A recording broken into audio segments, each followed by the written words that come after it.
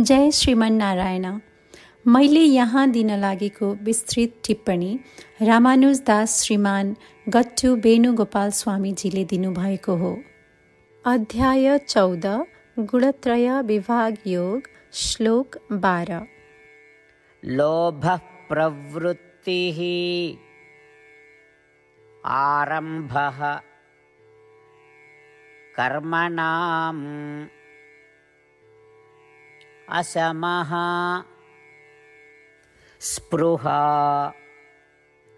रजस्येतानि जायन्ते। विवृद्धे। भरतर्षभा। ॐ गीताचार्य श्रीकृष्ण परमात्माले अर्जुनसँगै हामी सबैलाई गुणत्रय विभाग योग सिकाउँदै हुनुहुन्छ परमात्मा भन्नुहुन्छ अर्जुन जब लोभ बढ्दो क्रियाकलाप निरन्तर नयाँ कार्यको खोजी चञ्चलता इन्द्रिय सुखको लालसा जस्ता लक्षणहरू उत्पन्न हुन्छन् तब बुझ्नु कि रजोगुण प्रबल छ र अन्य दुई गुणहरूलाई दमन गर्दैछ अर्जुन जब जब लोभ प्रकट हुन्छ चाहे पैसा या स्रोतहरू आवश्यकताको लागि खर्च गर्न हिचकिचाहटको रूपमा होस् वा पुरस्कारको आशा राखी र गतिविधिहरूमा संलग्न हुँदा होस् जब तिमी आफ्नो इन्द्रियहरूलाई विश्राम नदिई निरन्तर नयाँ कार्यमा लागिरहन्छौ आनन्दले तिमीलाई व्याकुल पार्छ। तब तिमी भित्र सत्वगुण र तमोगुणमाथि रजोगुण व्याप्त छ भन्ने बुझ।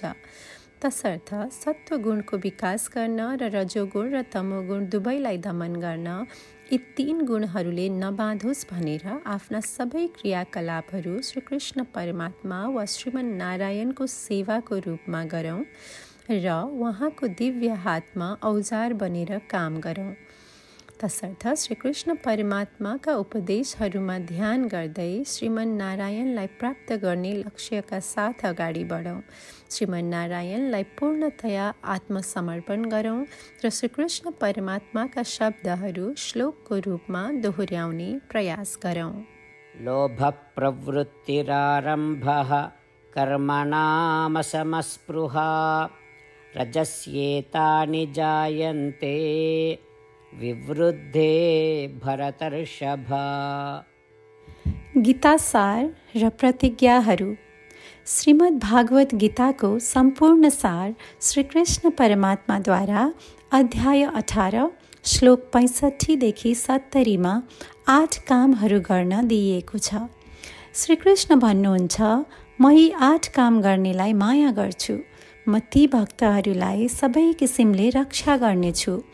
श्रीकृष्ण परमात्माले बोलेका भागवत गीता सबै सुनेपछि अर्जुन भन्छन् करिष्य वचनम तब जसको अर्थ हुन्छ कृष्ण म हजुरले भने जस्तै गर्नेछु। यस कारणले कृष्णले अर्जुनलाई सबै प्रकारका सफलता र विजयहरू प्रदान गर्नुभएको छ। परमात्मालाई हाम्रो बाचा दिउँ कि हामी यी आठ कार्यहरू पालन गर्नेछौँ।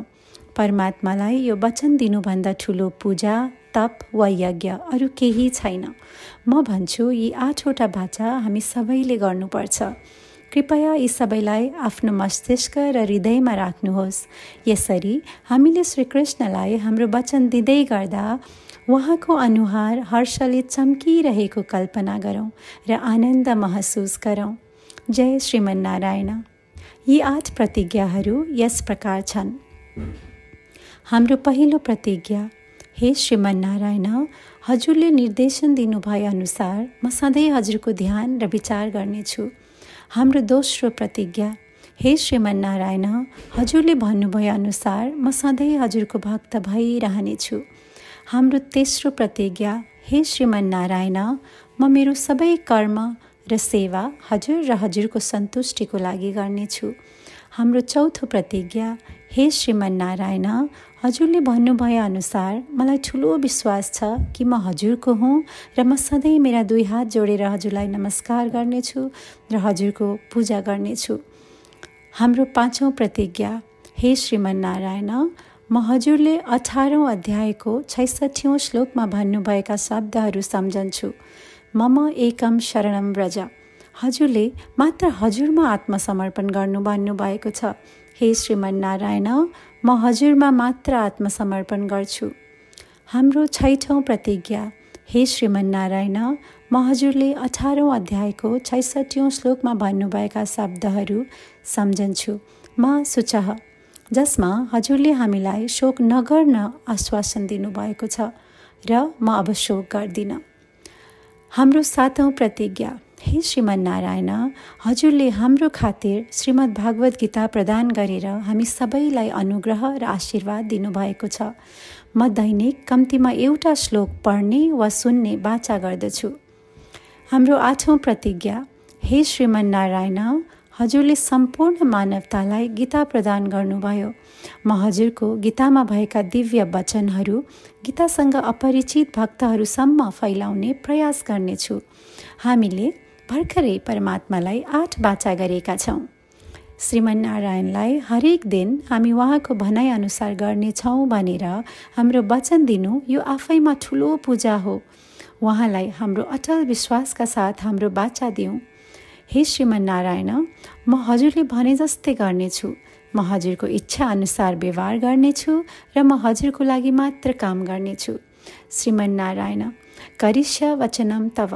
अर्थात् श्रीमन नारायण म हजुरको निर्देशन अनुसार काम गर्नेछु।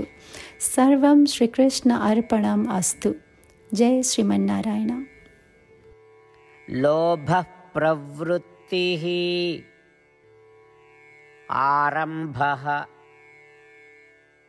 कर्मणाम् असमः। स्पृहा। रजस्येतानि जायन्ते विवृद्धे भरतर्षभा। ॐ लोभप्रवृत्तिरारम्भः कर्मणामसमस्पृहा। रजस्येतानि जायन्ते विवृद्धे भरतर्षभा। जय श्रीमन नारायण सबै भक्तजनहरूलाई विशेष अनुरोध। हाम्रो जीवनमा सबै चिजहरूमा हामी तत्काल र प्रभावकारी परिणाम चाहन्छौँ। यो प्राप्त गर्न दैनिक एक मिनट खर्च गरौँ र नारायण अस्त्रम पढौँ। नारायण अस्त्रम प्राप्त गर्नको लागि नारायण अस्त्रम वेबसाइटमा जानुहोस् जुन W W W dot Narayan Astram dot ORG हो र दर्तामा आफ्नो नाम र इमेल प्रदान गर्नुहोस्। तपाईँले प्रदान गर्नुभएको इमेलमा तपाईँले नारायण अस्त्रम पिडिएफ प्राप्त गर्नुहुनेछ। पिडिएफमा रामायण श्लोक गीता श्लोक र विष्णु नामम छन्। यी तिनलाई नारायण अस्त्रम भनिन्छ। सबैले यी श्लोकहरूको फरक संयोजन प्राप्त गर्छन्।